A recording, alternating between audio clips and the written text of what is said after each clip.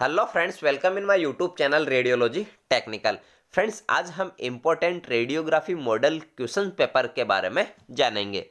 Friends इस video में अपन टॉप थर्टी क्वेश्चंस और आंसर्स के बारे में जानेंगे। तो फ्रेंड्स वीडियो को लास्ट तक ज़रूर देखें और रेडियोलॉजी टेक्निकल चैनल को सब्सक्राइब ज़रूर करें। तो आइए जानते हैं इम्पोर्टेंट क्वेश्चंस और आंसर्स के बारे में।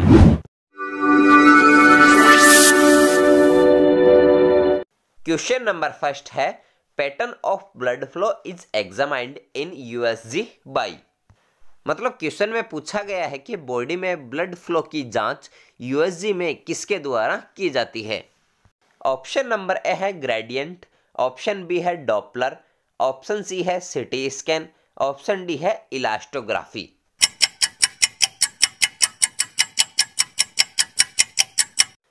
तो फ्रेंड्स, इसका राइट आंसर है option number B doppler scan friends, इस डायग्राम में आप देख सकते हैं कि यह डॉपलर का ट्रांसड्यूसर होता है।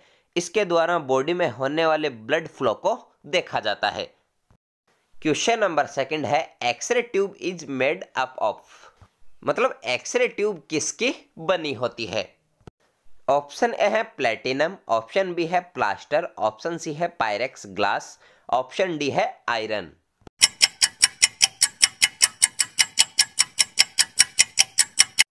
तो इसका राइट आंसर है option number C Pyrex glass इस डायग्राम में आप देख सकते हैं कि एक्सरे ट्यूब के बाहर यह एक पायरेक्स ग्लास होता है।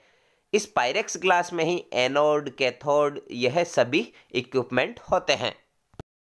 क्वेश्चन नंबर थर्ड है which of the following CT scan parameters affects the image quality and patient dose trade off मतलब क्वेश्चन में पूछा गया है कि निम्नलिखित में से कौन सा CT scan parameter image quality और पेशेंट डोज को प्रभावित करता है? ऑप्शन ए है डिडेक्टर साइज़, ऑप्शन बी है पेशेंट्स एज ऑप्शन सी है रूम टेम्परेचर ऑप्शन डी है tube current and time product मतलब एम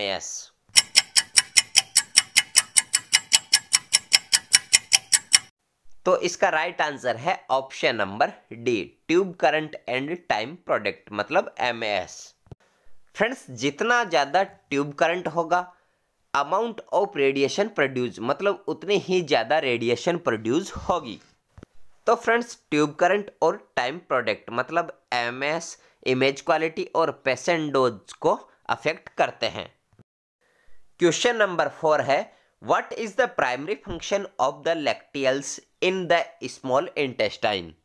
मतलब क्वेश्चन में पूछा गया है कि स्मॉल इंटेस्टाइन में जो लेक्टियल्स होता है, उसका प्राइमरी फ़ंक्शन क्या होता है?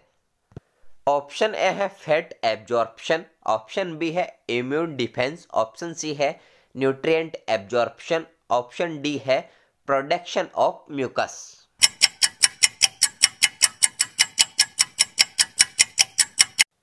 तो इसका राइट आंसर है option number A fat absorption friends इस डायग्राम में आप देख सकते हैं कि यह स्मॉल इंटेस्टाइन होती है। इसमें यह विलीज होते हैं। इन विलीज में यह लैक्टियल्स होते हैं, जो फैट एब्जॉर्प्शन का काम करते हैं। क्वेश्चन नंबर फाइव है which of the following is not a basic factor for radiation protection मतलब निम्नलिखित में से कौन सा रेडिएशन प्रोटेक्शन के लिए बेसिक फैक्टर नहीं है?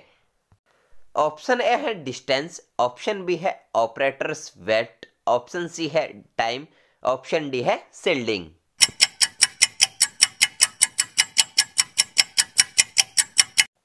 तो इसका राइट आंसर है option number B operators weight friends radiation protection के लिए अपन तीन मेथड ही यूज़ करते हैं।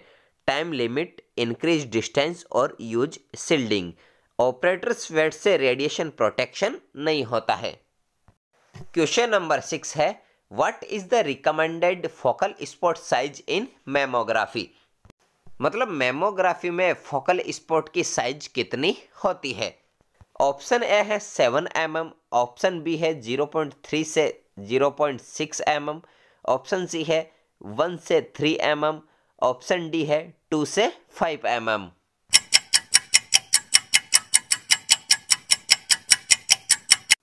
तो इसका राइट आंसर है ऑप्शन नंबर बी 0.3 से 0.6 एम mm.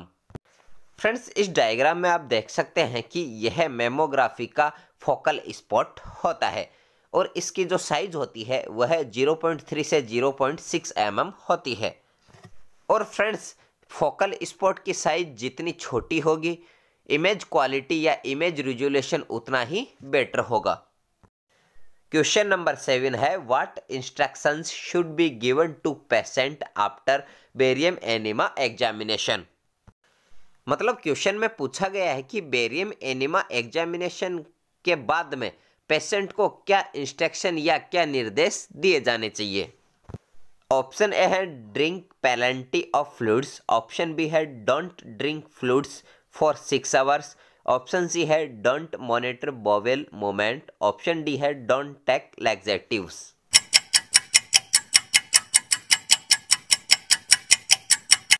तो इसका राइट आंसर है option number A, drink plenty of fluids मतलब पेशेंट को ज़्यादा से ज़्यादा फ्लूड्स देना चाहिए। फ्रेंड्स, इस डायग्राम में आप देख सकते हैं कि यह बेरियम एनिमा प्रोसीजर होता है। यह प्रोसीजर करने के बाद पेशेंट को ज़्यादा से ज़्यादा फ्लूड्स देना चाहिए, ताकि जो लार्ज इंटेस्टाइन में बेरियम गया है, वह बॉडी से जल्दी से जल्दी रिमूव हो जाए। क्वेश्चन नंबर एट है what is the average length of the human small intestine मतलब ह्यूमन में स्मॉल इंटेस्टाइन की एवरेज लेंथ या लंबाई कितनी होती है? ऑप्शन ए है टेन इंच, ऑप्शन बी है टेन फिट, ऑप्शन सी है twenty two feet, option D है टू फिट।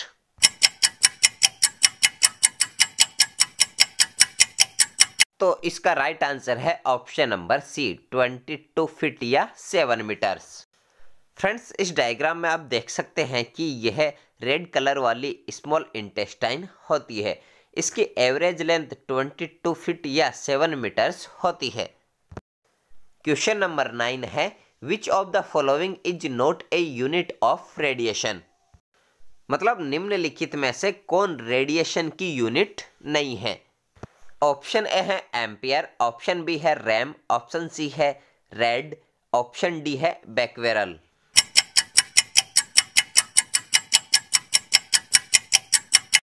तो इसका राइट आंसर है option number A ampere friends rem rad और बैकवेरल यह तीनों रेडिएशन की यूनिट होती है.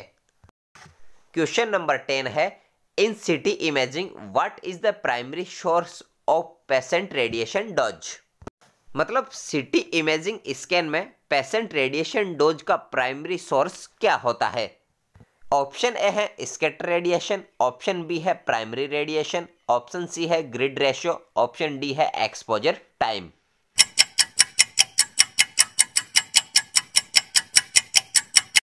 तो इसका राइट आंसर है option number B, primary radiation. Friends, CT scan में पेशेंट रेडिएशन डोज का जो प्राइमरी सोर्स होता है, वह प्राइमरी रेडिएशन ही होता है। क्वेश्चन नंबर इलेवन है what is the purpose of the x-ray tube housing मतलब क्वेश्चन में पूछा गया है कि एक्सरे ट्यूब हाउसिंग का क्या पर्पज या क्या कार्य होता है? ऑप्शन नंबर ए है to generate x rays option B है to cool the anode option C है to control exposure time option D है to shield against radiation leakage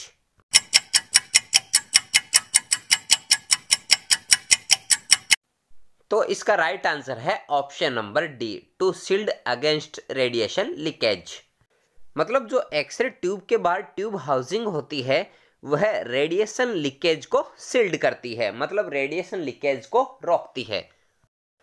question number twelve है ten day rule is applicable in मतलब radiology में जो टेंडे rule होता है, वह निम्न में से किस पर लागू होता है?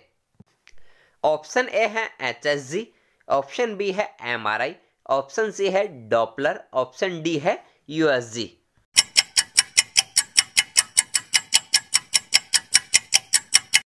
तो इसका राइट आंसर है option number A H S G friends H S G का फुल फॉर्म हिस्टेरोसल्फिंगोग्राफी होता है।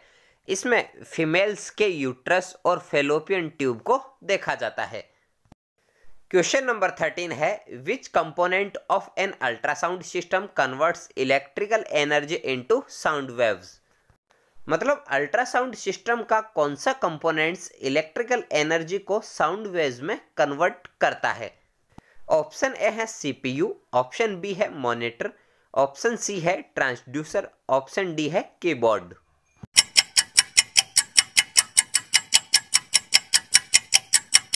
तो इसका राइट आंसर है option number C transducer friends ultrasound में एक ट्रांसड्यूसर होता है, जो इलेक्ट्रिकल एनर्जी को साउंड वेव्स में कन्वर्ट करता है. क्वेश्चन नंबर फोर्टीन है the exposure in measured in which of the following मतलब एक्सपोजर को निम्नलिखित में से किसमें मेजर किया जाता है? ऑप्शन ए है वाटर ऑप्शन बी है टिश्यू ऑप्शन सी है एयर ऑप्शन डी है, all of the above.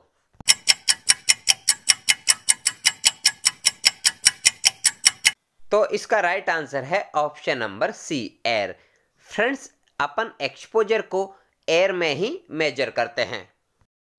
Question number fifteen है how can the pitch value effect patient dose in a helical CT scan मतलब helical CT scan में pitch value patient की dose को कैसे affect या कैसे प्रभावित कर सकता है? ऑप्शन ए है higher pitch reduces dose option B है lower pitch reduces dose option C है pitch dose not affect dose option D है pitch increase dose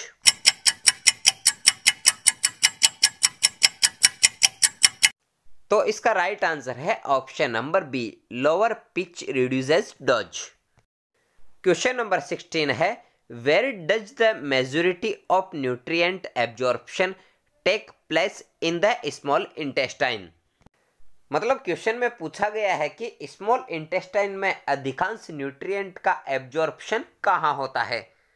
option A है ड्यूडेनम, ऑप्शन बी है एलियम, ऑप्शन सी है cecum option D है jejunum.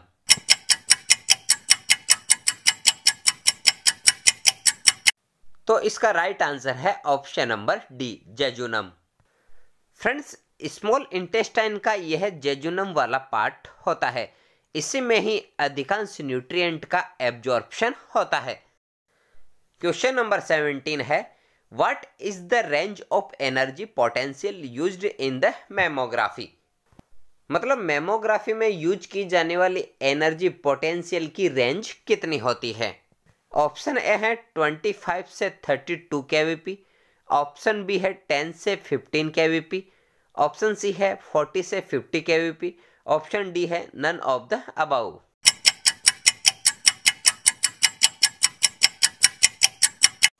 तो इसका right answer है option number A twenty five से thirty two K V P मतलब मेमोग्राफी में जो एनर्जी पोटेंशियल की रेंज होती है, वह ट्वेंटी फाइव से thirty two K V P होती है। क्वेश्चन नंबर 18 है which of the following converts light signals into electric signals मतलब निम्नलिखित में से लाइट सिग्नल्स को इलेक्ट्रिक सिग्नल्स में कन्वर्ट कौन करता है? ऑप्शन ए है एनालॉग टू डिजिटल कन्वर्टर मतलब एडीसी ऑप्शन बी है ऑटोमेटिक ट्रांसफॉर्मर ऑप्शन सी है फ़ोटो मल्टीप्लाई ट्यूब मतलब पीएमटी ऑप्शन डी है इमेज इंटेंसिफायर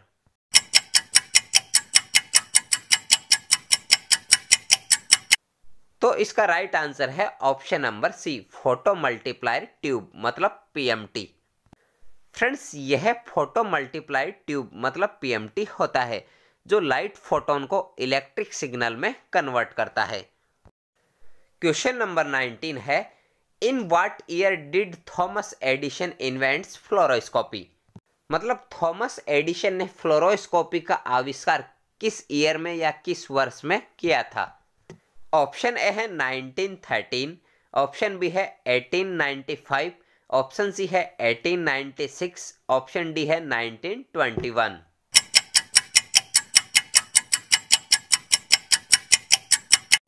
तो इसका राइट right आंसर है option number C 1896 question number 20 है curie is the unit of following मतलब क्यूरी निम्नलिखित में से किसकी यूनिट होती है? ऑप्शन ए है डोज इक्विवेलेंट, ऑप्शन बी है एक्टिविटी, ऑप्शन सी है एब्जॉर्ब्ड डोज, ऑप्शन डी है एक्सपोजर।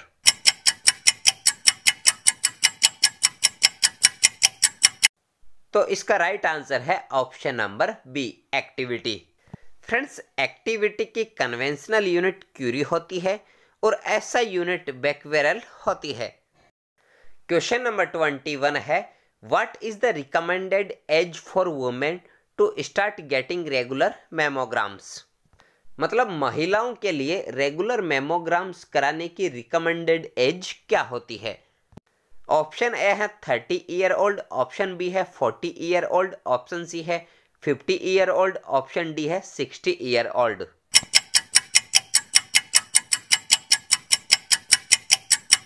तो इसका राइट right आंसर है option number B forty year old मतलब वुमेन्स को फोर्टी ईयर के बाद में रेगुलर मेमोग्राम्स करवाते रहना चाहिए। क्वेश्चन नंबर ट्वेंटी टू है what is the dose limit of occupational exposure for extremities मतलब एक्सट्रीमिटीज के लिए ऑक्यूपेशनल एक्सपोजर की डोज लिमिट क्या होती है? ऑप्शन ए है 500 millisievert per year option B है 200 millisievert per year option C है 100 millisievert per year, option D है 10 मिलीसीवर्ट पर ईयर।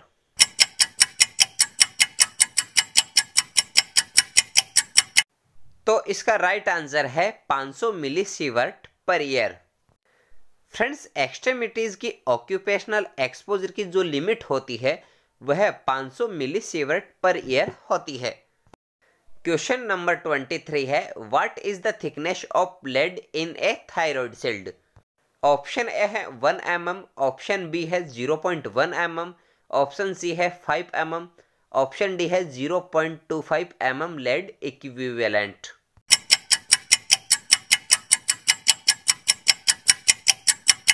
तो इसका राइट आंसर है option number D zero point two 0.25 mm lead equivalent.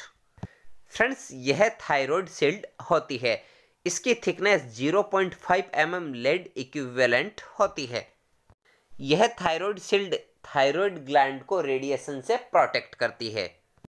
Question number 24 है which hormone is released by the small intestine to stimulate the pancreas and gallbladder मतलब pancreas और gall bladder को stimulate करने के लिए small intestine द्वारा कौन सा हार्मोन रिलीज़ किया जाता है?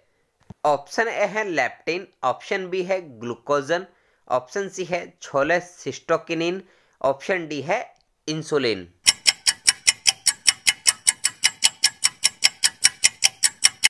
तो इसका राइट आंसर है option number C, cholecystokinin. मतलब पेनक्रियाज और गाल ब्लेडर को स्टिमुलेट करने के लिए small intestine cholecystokinin hormone को रिलीज़ करती है। क्वेश्चन नंबर ट्वेंटी फाइव है what is the function of the cathode in an x-ray tube मतलब एक्सरे ट्यूब में कैथोड का क्या काम होता है या क्या फ़ंक्शन होता है? ऑप्शन ए है to control exposure time option B है to filter x rays option C है to produce electrons option D है टू जनरेट एक्सरेज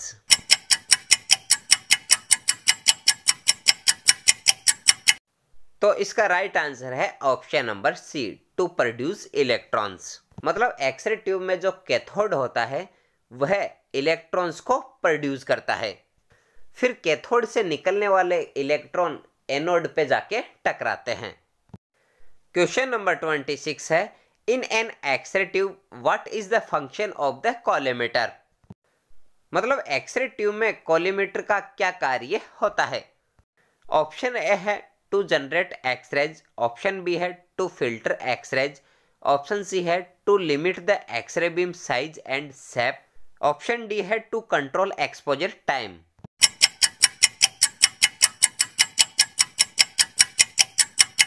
तो इसका राइट right आंसर है option number C to limit the x ray beam size and shape इस diagram में आप यहाँ पर देख सकते हैं कि एक्सरे ट्यूब के आगे एक कोलीमीटर लगा होता है, जो एक्सरे बीम की साइज़ और सेप की लिमिट को तय करता है। क्वेश्चन नंबर ट्वेंटी सेवन है which of the following is responsible for producing the x rays in an x ray tube मतलब एक्सरे ट्यूब में एक्सरे प्रोड्यूस करने के लिए निम्नलिखित में से कौन रेस्पॉन्सिबल होता है? ऑप्शन ए है द एनोड ऑप्शन बी है द फिलामेंट ऑप्शन सी है the control panel option D है द कैथोड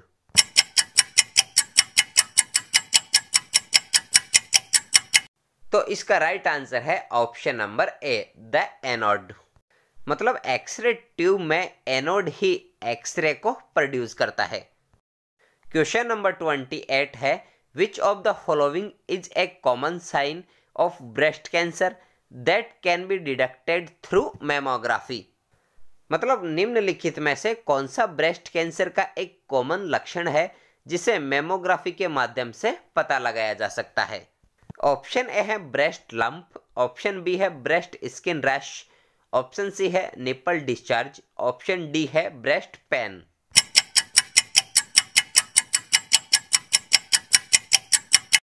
तो इसका राइट आंसर है option number A, breast lump.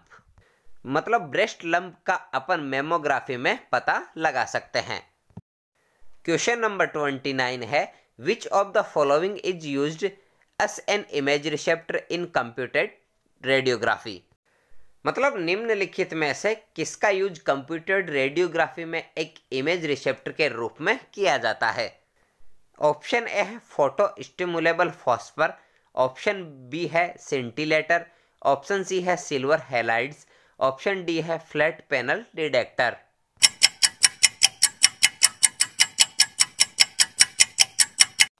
तो इसका राइट आंसर है option number A photo stimulable phosphor इसे पीएसपी प्लेट भी कहा जाता है। फ्रेंड्स यह कंप्यूटर रेडियोग्राफी में यूज़ की जाने वाली कैसेट होती है। इसमें फ़ोटो स्टिमुलेबल फॉस्पर प्लेट लगी होती है।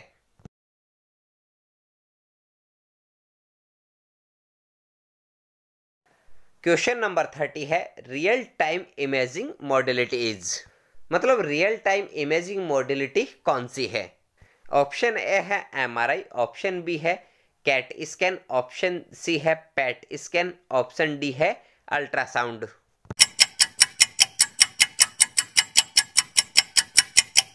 तो इसका राइट आंसर है option number D ultrasound friends ultrasound को रियल टाइम इमेजिंग भी कहा जाता है। तो फ्रेंड्स, आज का हमारा टॉपिक यही कंप्लीट होता है। फ्रेंड्स, अगर आपको आज का वीडियो अच्छा लगा तो वीडियो को लाइक, शेयर और रेडियो टेक्निकल चैनल को सब्सक्राइब ज़रूर करें। और फ्रेंड्स, आप मुझे कमेंट बॉक्स में ज़रूर बताना कि आपके थर्टी क्वेश्चन में से कितने क्वेश्चन करेक्ट है।